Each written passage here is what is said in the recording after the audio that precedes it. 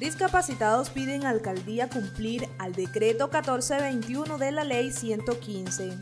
El movimiento ciudadano Montería Sociedad Sin Barreras dio a conocer a través de un comunicado de prensa la urgente necesidad de darle cumplimiento al decreto 1421 de la ley 115, que habla del derecho fundamental a la educación con enfoque diferenciador a la población con discapacidad. En el comunicado de prensa dirigido al alcalde Carlos Ordosgoitia, secretaria de Educación Municipal, concejales y rectores de colegios públicos y privados de la ciudad, el vocero y facilitador de procesos incluyentes Blas Rossi señaló que esta problemática ha sido reiterativa en años anteriores y continúa el mismo comportamiento de los rectores de las instituciones educativas de Montería, de no buscar una solución definitiva a la negación de cupos para que los niños y niñas con discapacidad puedan ejercer su derecho a la educación.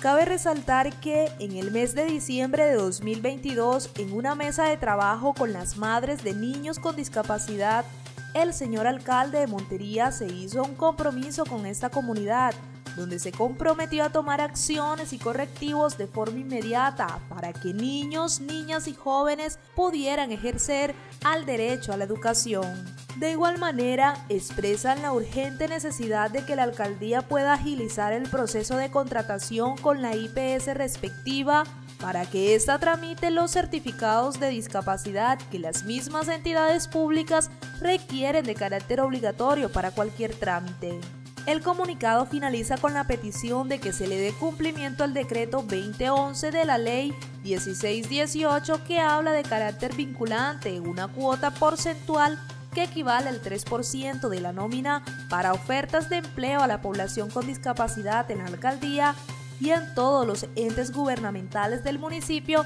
y departamento del país.